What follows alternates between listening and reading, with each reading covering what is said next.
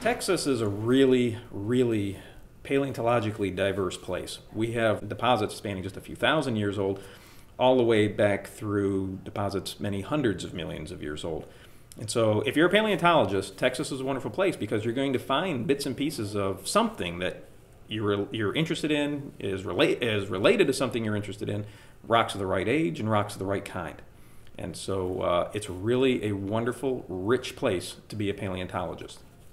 This past summer, in summer of 2014, the Perot Museum uh, came into possession of a really complete and wonderfully preserved mammoth skeleton.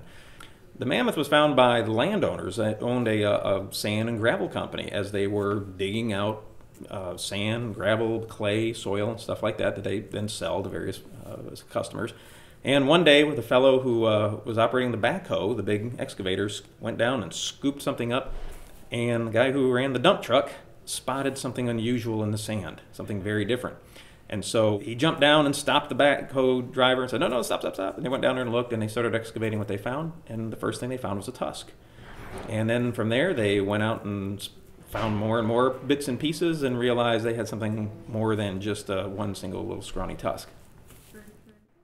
The purpose of Mammoth Lab is to get the bones of our mammoth that we acquired this past summer cleaned off hardened, stabilized, and preserved. Get them in a condition where they will last for many, many decades to come. Because these things are very, very fragile. They're not mineralized, they haven't been fossilized, they haven't been turned into rock. These are still simply 20, 40, maybe 60,000 year old dried up mammoth bones. So they're really delicate, and we have to spend a lot of time hardening them up, gluing broken parts back together. And to do that, we need a lot of room. These are big pieces. And many of the big chunks we have in the other room we're actually leaving together right now to preserve their association, to show how they're all connected to one another. This is significant to paleontology here in Texas because of the completeness of this specimen.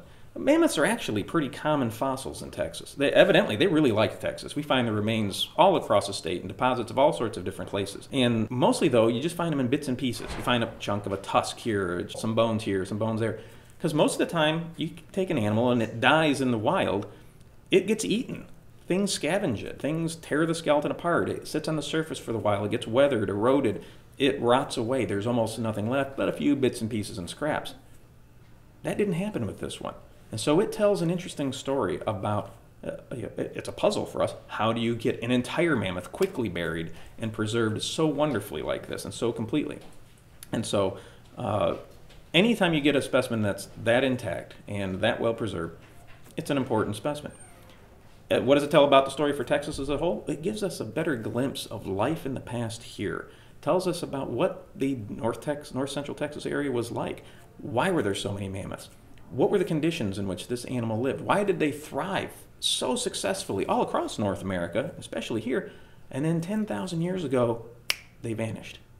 They left no descendants how could such wonderfully adapted and successful animals here in North America vanish completely so quickly? That's an important question because the same processes that occurred in the past are the same processes that occur today in nature. And so, if those animals could be wiped out to extinction in a blink of an eye, geologically speaking, so can lots of animals and organisms that live today, including us. So, we need to understand what happens to these sorts of animals to understand what could happen to us and other organisms on our planet today.